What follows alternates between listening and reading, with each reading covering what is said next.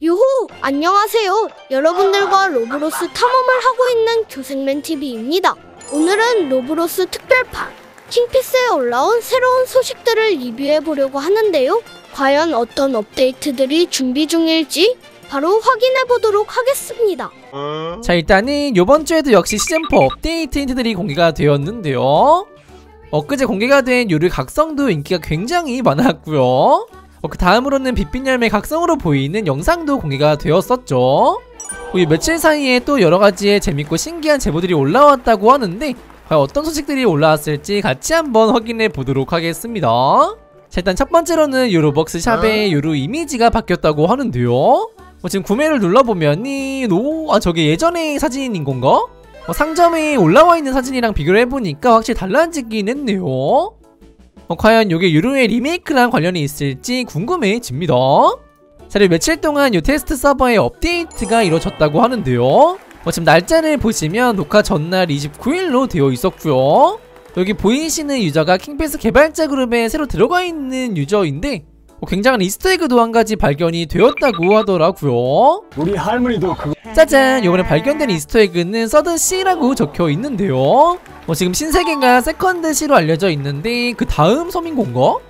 자 그리고 바로 이어서 폴리 개발자님의 힌트도 한 가지 공개가 되었었죠. 어, 폴리 개발자님은 킹피의 무기와 애니메이션을 담당하셨는데요.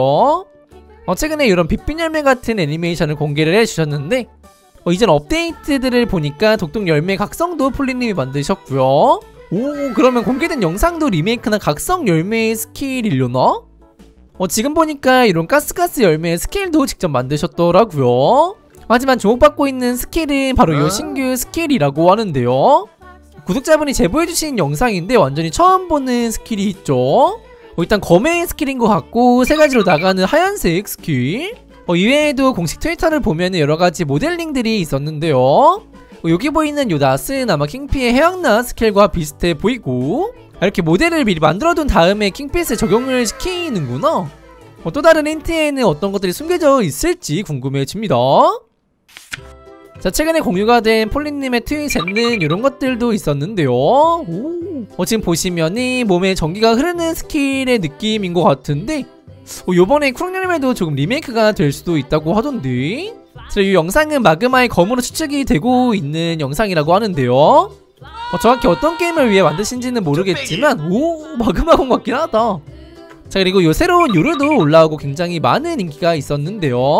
어, 드라곤님이 이런 영상도 공개해 주시면서 훨씬 더 확정이 된 느낌이었죠. 어, 다들 아시다시피 요르의 스킬과 검은 초록색깔 빛이 나고 있는데요 어, 최근 공개된 이 초록색 느낌의 스킬이 요르 각성이 맞는 것 같다고 합니다. 어, 지금의 요르는 거의 PVP에서 좀 더 유리하게 설계가 되어 있는데요. 어, 반면에 사진 속에 등장하는 요르는 PVE에서도 굉장히 좋을 것 같죠?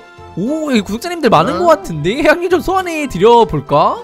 오 뭐야? 이미 두 개나 떠있잖아. 어, 여러분 엘리 좀 해주세요 자 일단 새로운 레이드 보스는 거의 확정으로 이번에 출시가 될 것 같은데요 어, 새로운 열매와 검들도 기다려지는 것 같습니다 오. 유호! 오늘은 로블록스 특별판 킹피에서 공개된 새로운 소식들을 리뷰해 보았는데요. 뭐 조만간 대규모 힌트가 공개될 예정이라고 하니까 다 같이 기다려봐도 좋을 것 같습니다 자, 맨 처음에나 궁금하신 컨텐츠는 댓글에 남겨주시고요 자 그럼 다음에 또 재밌는 영상으로 찾아뵙도록 할게요 그럼 안녕